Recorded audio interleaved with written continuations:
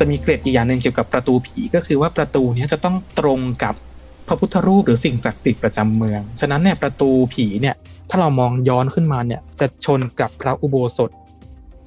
ของวัดพระศรีรัตนศาสดาราม หรือวัดพระแก้วพอดี ก็คือเหมือนกับเอาบารมีของพระแก้วมรกตอะกันมาไว้ให้บังประตูผีไว้ผู้ปีศาจอะเข้ามาในเมืองอ๋ออ่อ่าถูกถูกต้อง เข้ามาเนี่ยมองประตูผ่านผ่านมาผ่านตรงสี่แยกสมณราชก็ได้เพราะประตูไม่หลุไม่อยู่ละมองมาปุ๊บเราจะเห็นเลยว่า ตรงกับพระอุโบสถของวัดพระแก้วเลย บางคนก็บอกว่าโอ้ยมีเสาชิงช้ากั้นด้วยแต่เสาชิงช้าเนี่ยย้ายมาทีหลังแต่เดิมอะเสาชิงช้าอยู่หน้าโบสถ์พราหมณ์ก่อนที่จะย้ายมาอยู่หน้าวัดสุทัศน์นะฮะฉะนั้นนะถ้าถ้าไม่ถ้าสมัยก่อนถ้าเราย้อนไปต้นกรุงเนี่ยอู้เรามองก็คงจะเห็นแต่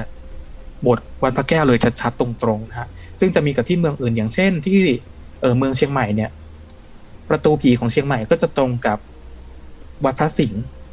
อย่างเนี้ยเป็นต้นอืมอืมนะฮะก็คือเอาพระพุทธรูปหรือว่าสิ่งศักดิ์สิทธิ์ผู้บ้านผู้เมือง ยันพูดผีปีศาจเอาไว้ อันนี้ก็เป็นเกร็ดเล็กเกร็ดน้อย